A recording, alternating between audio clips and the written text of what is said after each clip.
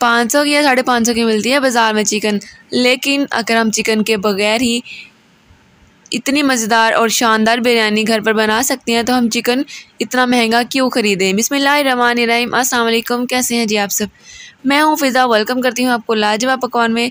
तो लाजवाब पकवान में आज हम बना रहे हैं बग़ैर चिकन, मटन और बीफ के, इतनी मज़ेदार, इतनी शानदार आलू और अंडे की बिरयानी, जो कि जायके में गोश्त की बिरयानी के बराबर, बल्कि उससे भी ज़्यादा मज़े की होगी।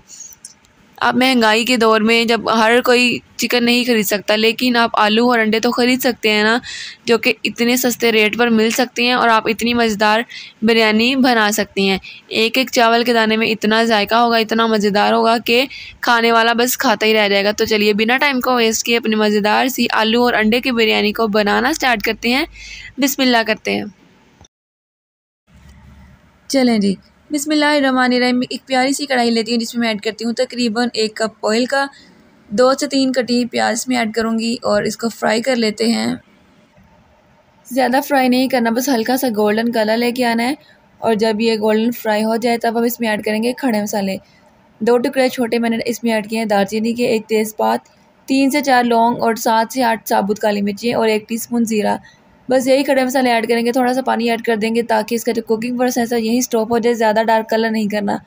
एक टेबल स्पून ऐड करेंगे इसमें लहसुन और अदरक का पेस्ट दो से तीन मिनट तक इसकी भुनाई करेंगे और अब इसमें ऐड करते हैं टमाटर।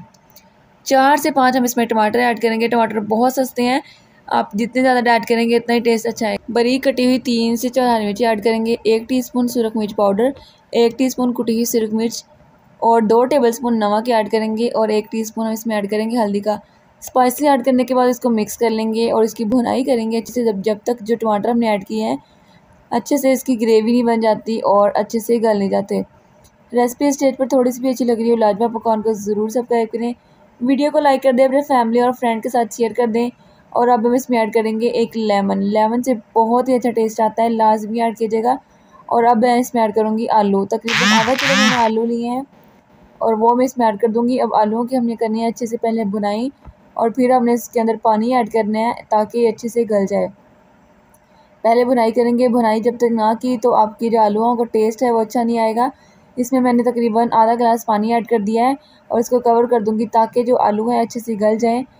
तो तकरीबन आठ से दस मिनट के बाद इसका कवर हटाने के बाद देख सकते हैं कि जो आलू है वो हमारे काफ़ी हद तक डन हो चुके हैं और जो पानी है वो भी ड्राई हो चुका है।